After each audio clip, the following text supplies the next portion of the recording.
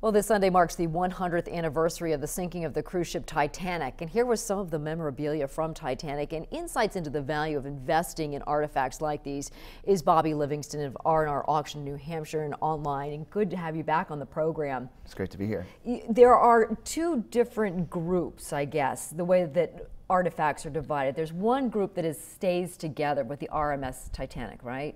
But then your lot or, or, group of artifacts is a little different. Explain to me. Sure. There's a, there was an act passed in 1985 by the United States about the salvage rights of the Titanic, where it was to be kept as a memorial. So the things that were salvaged off the ocean floor uh, belong to a certain corporation, uh, and they have to stay together. The auction that we have, we have about 180 items all came from families uh, who acquired these things in 1912 or have written uh, accounts of things in so 1912. So the families so. have given this right. for it, including this this locket. That's right. That I think is so gorgeous.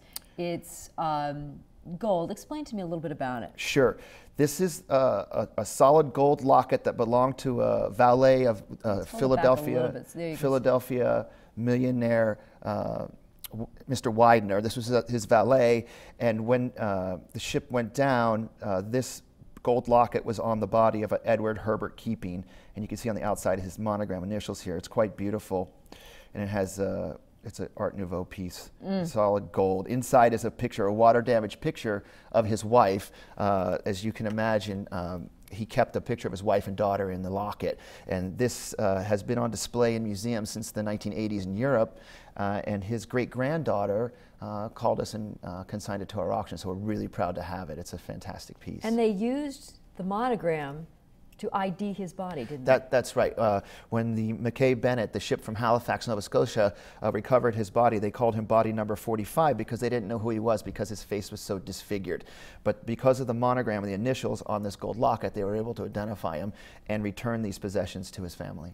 You have a letter here, and the expression, uh, oh, here, I'll tilt it a little bit. We're going to glare here. The expression and the band played on. That's right. Comes this, from the Titanic.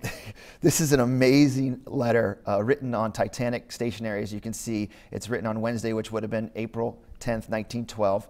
Uh, it's written by Wallace Hartley, the band leader of the Titanic, the famous band that played music to calm the passengers as the lifeboats were being lowered and as the, the ship went down. Many eyewitnesses talk about the music still playing as the ship went down.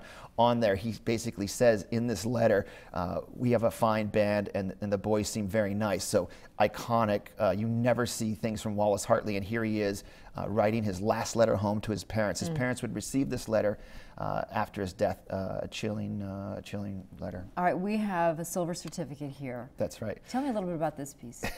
this is one of those great pieces. Uh, this is an 1899 $1 silver certificate, and on the back of it, the story of it is told.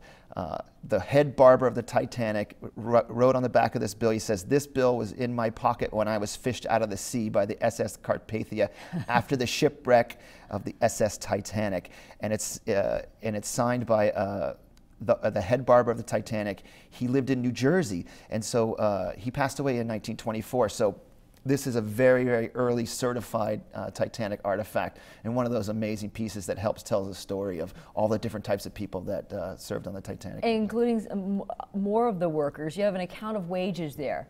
Tell me what, who that belonged to. This uh, belonged to a Frank Evans who famously, testif famously testified at the U.S. Uh, Senate hearing right after the, right after the uh, sinking. But if it's a little shiny. Yeah, there you go. He, here, you, up here, you can see he served on the Titanic, and uh, he was discharged when the ship fired, sank. basically. They fired him once the ship sank, and they he was supposed to get five pounds, and this receipt is for one pound, and then they gave him a bonus of uh, a little over four pounds when he got back home. It took him 26 days to get home, but he, he only received one pound for his, his uh, service on the Titanic. After all that. Yeah, the White Star Line. So he survived. That's right. He, he, survived. He famously survived. So this this was uh, his pay wages for his time on the Titanic. Whew. A great document. But what an experience. right, right. All right, the very last photo you have over here. This is all right. I don't know if you can reach over, Bob, just to tilt that sure. a little bit because we have a glare problem on that one too. There you go. This is the captain and the crew. That's right. This is actually taken. Uh, on the USS, uh, I mean the RMS Olympic, the sister ship of the Titanic. We can know that because they're wearing their summer summer outfits. But this is most of the crew that would transfer the Titanic and all sink with the ship. The gentleman in the center there with the beard is Captain Smith, and standing right behind him is First Officer Murdoch, both very famous players in the tragedy that is the Titanic.